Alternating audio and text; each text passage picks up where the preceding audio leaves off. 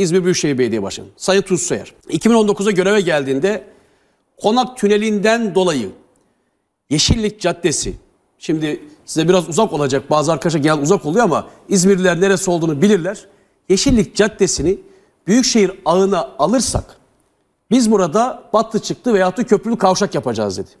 Biz bunu karayollarından, Ulaşma Bakanlığı'ndan Büyükşehir ağına geçmesini sağladık. Birincisi bu. İkincisi Buca metrosunun yatırım programına alınması gerekiyordu. Cumhurbaşkanlığı tarafından. Bu sayede Büyükşehir Belediyesi yurt dışı finansmanı daha uygun faizle bulacaktı. Bunu yatırım programına aldırdık. Üçüncüsü Çiğli tramvayı. Çiğli tramvayının e, borçlanması talebi vardı. Bunu yaptık. Çiğli arıtma tesisinin dördüncü faz borçlanması vardı. Bunu yaptık.